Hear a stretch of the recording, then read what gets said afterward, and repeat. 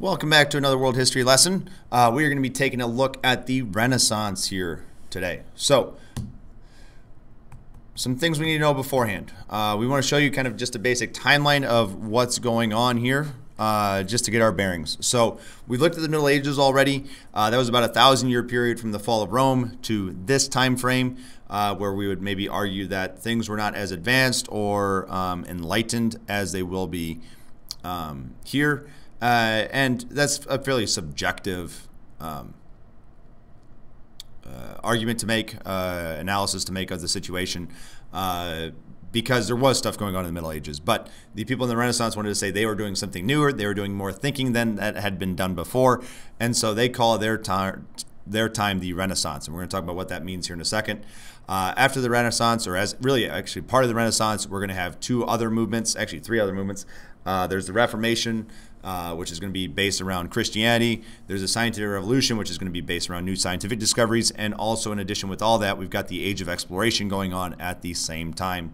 That's kind of combined with all this. Uh, after this time frame, though, we are going to have then something called the Enlightenment. And then after the Enlightenment, uh, we will have something called the Age of Revolution. Um, that's really what's going to drive us into. Uh, we're going to see that really the Enlightenment and the Age of Revolution a lot more next semester um, when we get into uh, the colonization of the Americas and then the eventual um, revolution of those colonies against their uh, parent countries. So, uh, oh, okay. Uh, so feudal Europe, just a couple things to remind you of uh, that we saw. Um, Europe was divided into several independent kingdoms, and uh, the feudal Europe was defined by the idea of feudalism, where you've got that strict social caste, or not caste system, but strict social structure system of peasants or serfs, uh, knights, uh, and maybe some skilled workers, merchants, and stuff like that. Then you got your nobles, and then you got the king at the top. Uh, it's also defined by the plague, especially towards the end of it, uh, that uh, drastically changes the landscape of people and where they're living and how they're living. And it was also defined by the church, which is why we had the Crusades that went and tried to conquer the Holy Land in the name of uh, God. So um, you've got those three things that are really kind of the, the defining features of it, and we're going to see those change drastically here during this time frame. So, philosophy of the Middle Ages. Well, it's a lot of it's based on Christianity. All the ideas, the the concepts are going to be based around the idea of Christianity. Um, there's going to be a major fear of witchcraft, and honestly, we might say that that kind of goes away, or the Renaissance will like to say that that goes away. The Reformation will like to say they've gone away from that, and uh, unfortunately, it doesn't. Um, witchcraft and, and the fear of witchcraft is going to continue well after this. Uh, you got the famous instances of witchcraft here in the United States. Um, so that's happening in the 1600s. So it's it, it doesn't go away just because the Renaissance happens. Um, also, new ideas are not as uh, appreciated. Um, they're kind of quashed or squashed, um, and that they're they're kept down. Um, there's the idea of the Duns Scotus, uh, which gets us the term dunce uh, that is kind of an example of this, um, and that it wasn't necessarily good to be uh, coming up with new ideas and challenging things. And the reason why you don't want to challenge new things and, and come up with things or challenge people and come up with new things is because there is an expectation to respect authority, whether that be the church or the king or whoever was above you. You weren't supposed to go out of your lane. You're supposed to stay in your lane, not complain, and just smile and nod when people say stuff to you, even if you don't like them. Um, so that's the Middle Ages and what is going to be pushed back against here in the Renaissance. Um, Renaissance literally means rebirth, uh, and it is a rebirth of Greek and Roman ideas. Um, so we're going to see them looking back to ancient Greece and Rome for ideas on art and what is a good art style, uh, in philosophy, in ways to live your life, all that kind of stuff is what they're going to be focusing here. Um, and there's going to be an increased interest in history, literature, and art during this time. Um, so, where does it begin? Uh, and it begins in Italy. Now, why does it begin in Italy? Well, if we're dealing with them, uh, if we're talking about them being based off of Greek and Rome, uh, Italy is a great place because there's Greek ruins as well as a lot of Roman ru- ru- ruins. Um, really, a lot, a lot of Roman ruins are there. Um, several of the cities that are big cities here in this time frame were originally set up as Roman colonies or um, were Roman cities and you have the Roman architecture and all that stuff in them. They're also a center for trade, which means there's a lot of money coming through. And uh, because this is where Rome was, a lot of the Byzantines, when the Byzantine Empire falls, partially because of the Crusades, they will come and flee over to Italy to try to find a new place to settle instead of being a part of that empire. And of it, or in Italy, the main head place is going to be a city called Florence. Uh, it is going to be the center of it because it is the center of banking and trade uh, and textiles. And there is one family that really sets this all off, and that's going to be a family called the Medici family. And they, instead of hoarding all their money, uh, are going to decide to spend their money. Well, they're going to hoard a lot of it, but then they're going to spend it on having artists make great works and stuff like that. And it's really a way for them to show like how they're giving back to the community. But instead of giving the community money and stuff like that, they give them artistic things that are cool. Now, some of the values of the Renaissance um, that really kind of give us the definition of what the Renaissance was and what it was based around are, we're going to say there are kind of six factors. Um, depending on who you talk to in history, you'll get more, you'll get less, you'll get, these weren't really big deals, they were big deals. But um, really kind of the big thing that I would say with these uh, is they give us a foundation for what we see as valuable today and what we want to see in people today. And this is why probably the Renaissance is looked at as a really big idea, is more because of its connection to us today than it was actually a drastic change from things before. Because this change didn't just happen overnight or at the snap of a finger or anything like that. It happened uh, uh, kind of fast, but also not lightning speed or anything like that. It took years, and you can see the movement was hundreds of years long. So these values, that I went on a long tangent there, sorry, are well-roundedness, mean, meaning you're good in many different areas. Okay, this is what we do with our school system today. Why do we have you doing science and art and math and history and English and all that stuff? Because we want you to have a solid foundation in many things. Do we expect you to be an expert in everything? No, but we do expect you to be well-rounded, or we hope to make you well-rounded by the end of your years here. Um, Individualism. This is a focus on the self and what your interests are and what you want to do. If you want to make art on this thing, then you should be able to go and do that. You don't have to do what your family did or what other people did. Now, this is usually a privilege of only those that were in the upper classes and those that could afford to get an education and stuff like that. The common farmer was still probably farming. Uh, secularism is an idea of focusing on living in this world, not worrying about the afterlife. So you have a little bit of lessening of the power of the church here, as well as it's about fixing this world and making this world a little bit better, which brings us into humanism, which is that humans have a lot of potential. They've got they're logical creatures that can solve a lot of problems, and we don't have to necessarily wait for God to solve the problems for us. So you've got humanism there. Uh, skepticism questions things. Um, it is something that we look for all of you guys to be able to do is question things. Um, and it's what you guys are pushing whenever you answer any of our assessments. You guys are working that skeptical idea of challenging certain uh, notions and making your own argument.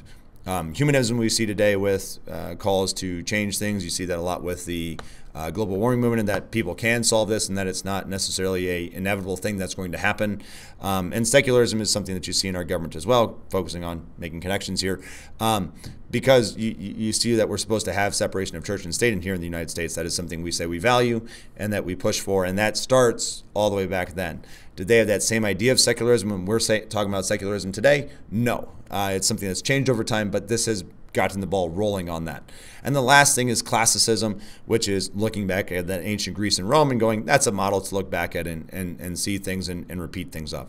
Um, this is not something that's necessarily seen a ton today. We don't have a lot of Greek and Roman architecture. We're not our arts aren't necessarily based on that stuff. But the idea of democracy and republic relate back to Greek and Roman culture, and so that political system has continued as well as there are some people that see it as really important to still see and view the classics of uh, the ancient world. Um, one thing for me was uh, I, I got to learn Latin in high school because, uh, well, we thought, or my school thought it was important to still have Latin around, and you will still see that on the East Coast and in some big schools there and stuff like that. So, those are the Renaissance values. Um, they are things that we can see throughout the whole Renaissance, as well as we can see that they have an impact long term to us today. The Renaissance man, this the quintessential person of the Renaissance, an example that would be Leonardo da Vinci, is someone that has their own thoughts, is doing their own things, but also is good at a lot of different things. Um, they are not just doing one thing. So they're not just an artist painting. They are doing painting. They are doing sculpting. They are uh, inventing things. They are doing architecture and design and stuff like that. Uh, the whole idea is to be a complete person and to be able to do a lot of things. And um, so this is getting into the idea of humanism as well as individualism and maybe a little bit of skepticism that you're challenging things, trying to come up with new things, um, as well as very much well roundedness because you're doing many different things well. Now, sorry for the cough there.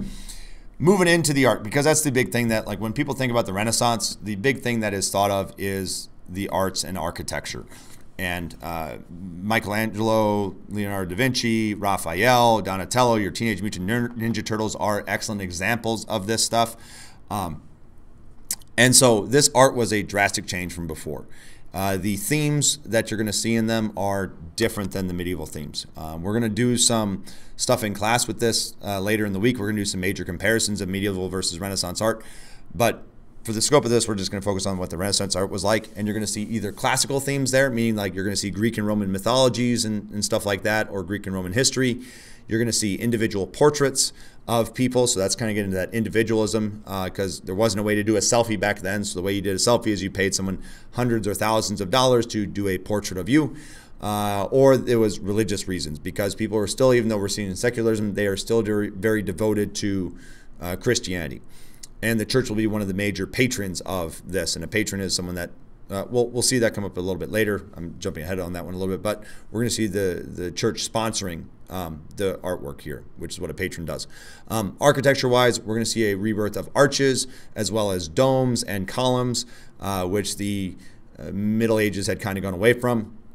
And painting wise, we're going to see an idea called linear uh, perspective, which is going to make things look 3D, in that you're going to have a vanishing point there. You're going to have uh, artwork looking like it's 3D, like it's realistic, like you can go out and touch it or you could run into it. It's just like if you've ever watched Looney Tunes cartoons or any cartoon for the matter, most of them have it where someone draws something on the wall and they start running through that. That's the perspective idea in um, in application there. Um, so everything's going to look lifelike. Things are going to look very proportional. Um, you're going to see shadows. You're going to see a lot of symmetry and geometry going on in there because that's what they found pleasing. So that's the art and architecture. Here are some examples of it. Um, sorry for the coughing again. Uh, but we got the Sistine Chapel here on the left. Uh, you can see this is done by Michelangelo um, with his Last Judgment. He also did the ceiling. Uh, we've got some Da Vinci here on the bottom left with the Mona Lisa, as well as I believe this is a self portrait of him or a self sketch of him. And you've got uh, his Last Supper right there. Uh, I cannot remember who did this one of Jesus being laid to rest, uh, but you've got that, as well as you've got another one of Jesus here on the cross. So, all these pictures you can see uh, a lot of religious, um, I wow, I didn't bring up any Greek or Roman ones in there, but we've actually seen some Greek and Roman ones uh, myths earlier. Um, you can see some individualism here with the Mona Lisa there, but a lot of it's religious because it was still a very religious time. Uh, architecture wise, we're going to see a lot of different things. You can see some sketches of columns and, and arches. Um, you can see this famous uh, cathedral known as the Duomo uh, with a dome. Uh, it was the first dome built since the Roman Empire in Western Europe. Uh, and you've got some other things here, like again, arches and all that kind of stuff for the Renaissance architecture. Uh, and then lastly, you've got a lot of sculptures that are done uh, in this time. Uh, they are made out of bronze here. This is a statue of David uh, in the middle. Uh, and then on the left, um, you've got some Greek and Roman mythology playing out. In this is the Sabine women being taken away from their um, men in ancient Rome. It's a it's a uh, mythological story about part of the founding of Rome. Uh, as well as you can see in the back there, that is uh, Hercules or Heracles beating up a centaur. And then on the right here, you've got Moses. So we're back to religious things here. Um, these two, Moses and the uh, statues you see on the left, are all from uh, Michelangelo again. Um, you might notice that like Moses is wearing like rabbit ears or something like that, and that is because Michelangelo mistranslated. Um, some of the uh, Old Testament when he was reading about it. He mistranslated a word for halo or glowing orb around him for horns. And so he uh, put giant horns on Moses for whatever reason and didn't realize it until after the fact and then ground them down some, but there was still some left over. And so you can still see the horns on his head there. So, fun little random fact there with that. And uh, yeah, that's another. The bottom right is an altar piece. I can't tell you who it's by or what it is, but it shows you some sculptures and Roman, uh, Greek columns and stuff like that.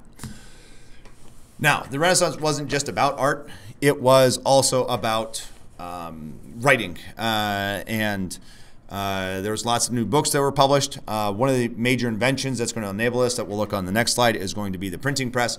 Um, but there are a lot of new books that are written, uh, and they get spread out throughout the whole of Europe because of the printing press. Uh, and they will go and revisit Greek philosophy. So you'll see people reinterpreting people like Aristotle and Plato. Uh, you will see people writing new histories of Italy and the cities that they're living in, or making critiques on the Roman Empire before them. Uh, you will see people writing new plays and poems and novels. Uh, really, this is a big thing. This is where you start to get the entertainment of actually going and seeing plays consistently or reading books. Um, some of the famous books that we're going to see, well, they're on the next slide, but I'm going to kind of spoil things. Uh, there's the famous The Prince by Machiavelli, which we see up the top right here. Uh, there's the famous plays by uh, Shakespeare. Uh, so all your Shakespeare plays, Romeo and Juliet, Antony and Cleopatra, all those are from this time frame. And uh, you also get humanist critiques, so more nonfiction type stuff, uh, going and uh, saying, here's what we should be doing and, and how we should live our lives and all that kind of stuff. As well, there's a lot of new inventions, new guns, new cannons, uh, other weapons. Uh, anatomy uh, starts to be done, and that people start dissecting people to understand how the human body works. And there was actually really a practical reason behind doing anatomy, and that was if you dissect the body, you can understand what the body looks like under it. So then you can make more realistic paintings. Um, and so you've got people that start to analyze the human body to see how it functions so you can make more realistic art, but also it leads to better science um, or better, uh, well, science and, and being able to be a doctor and heal people from injuries and uh, illnesses and stuff like that. So I mentioned this on the previous slide. Uh, movable type printing press uh, is a huge invention during this time, and it allows all this information to spread.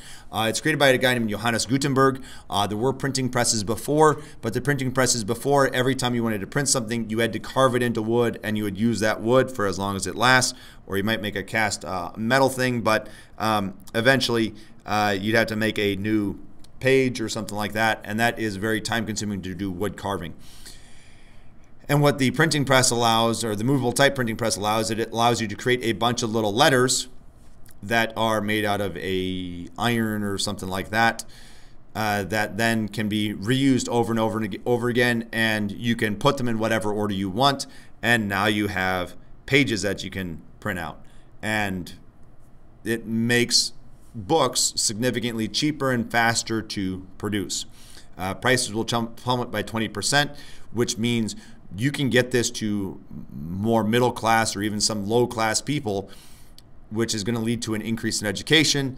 Uh, it's going to lead to getting messages out to lead that will help start political revolutions or religious revolutions. Uh, the main one being the Reformation. Um, the one of the major leaders of the Reformation, a guy named Martin Luther, is going to produce.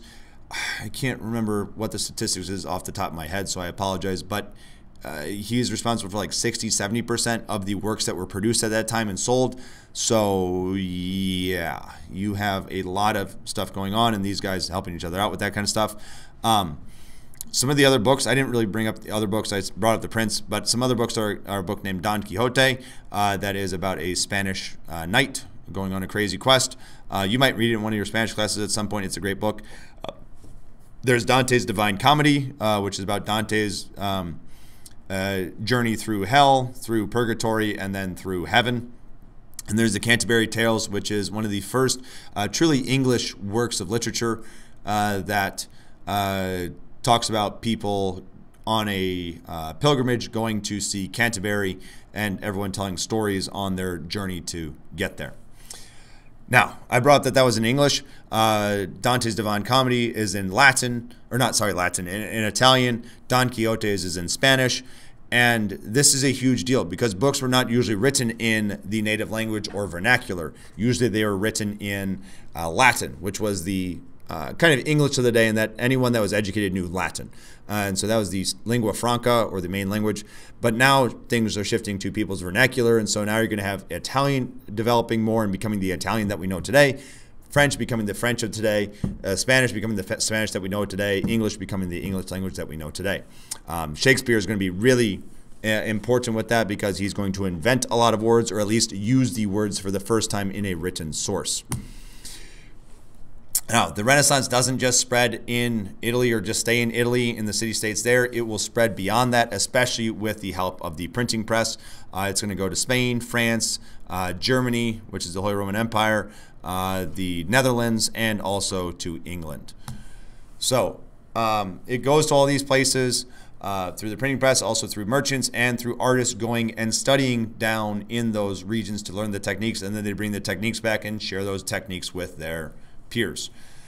The Northern Renaissance, though, is going to be fairly different from the Italian Renaissance. Yes, there's going to be some of the same values of like humanism and realism and stuff like that going on, uh, but it's also fairly different in that uh, there's more of a focus on daily life uh, and the average people. Uh, there's a much more devotedness in it to Christianity, so you're going to see a lot more religious works. Um, it's going to be based around the monarchies that are up there because they can sponsor the artwork and get themselves painted and, and paint other have other things painted that they want to see. And uh, there's also going to be wood engravings. That wasn't something the Italians did a lot, but uh, the bottom picture you see to the left uh, is a picture of uh, is not actually a picture or anything like that. It's uh, wood engraving. So this was carved into wood to then be pressed into a book, so that you would have artwork in that book. So that's the Northern Renaissance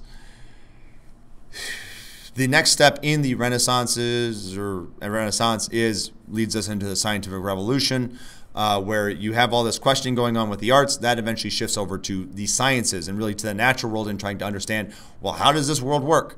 And so it shows the skepticism and secularism and things, and that we're going to get discoveries like, oh, the Earth is not the center of the solar system, instead it's the sun or that there's a thing called gravity that's keeping us down and it can be calculated as well as because of gravity uh, objects fall at the same rate, uh, no matter what they are. So as long as they are the same size and shape.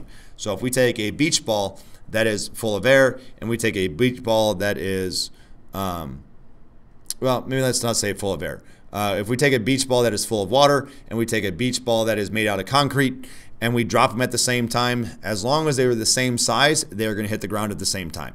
Uh, that was a famous experiment done by Galileo. Um, the heliocentrism is kind of figured out by Nicholas Copernicus and a guy named Johannes Kepler. Uh, they worked that out. Galileo proves that, and the um, uh, the calculation for gravity and all that stuff comes from the idea of creating a new math called calculus by a guy named Isaac Newton. And a guy named Rene Descartes and Sir Francis Bacon create the scientific method, which gives us the way to kind of prove a scientific idea uh, gets us into the being able to prove theories and come up with theories and actually show that they exist instead of just saying, well, I think this is what the case is. They come up with a way with actually doing experimentation, prediction, all that kind of stuff. The scientific revolution, or at the same time the scientific revolution happens, there's also the Protestant and Catholic Reformation happening. This is showing skepticism infiltrating the church, and that you have people challenging the norms of the church, and that the Catholic Church should be the head of it. Uh, we're not going to talk about that a ton here, uh, but it is something to make note of, and it is something that we will go into when we come back from winter break. And then, last but not least, we have the Age of Discovery, and this is something we will come back into at the start of next semester after winter break. And that is the Age of Discovery also is happening at this same time. So you got Christopher Columbus sailing the ocean blue, um, but you have a lot of other people than Christopher Columbus also doing that, trying to go and discover and find ways to the far east to go and uh, buy stuff there and bring it back. So get silk, go get spices, all that kind of stuff that the Europeans want. Now that they're in this uh, new time period of abundance and that trade is improving, there's lots of money. Uh, people want to find it to spend. They're not just going to spend it on art, but they're going to spend it on getting resources that they want. So other luxuries like silk and other things like that. So um, that's kind of uh, all, all this thing all, all these things are happening while the renaissance is happening so you got the renaissance with the northern eventually the northern renaissance is in addition to that with the reformation with the scientific revolution with this age of exploration all happening at the same time making this a very dynamic period. Um, again, we're not going to look at them all at the same time, but understand our next couple units, everything's happening around the same time here. So that's everything in a nutshell for the Renaissance. Um, we'll be exploring a lot more of it in class over the next few days.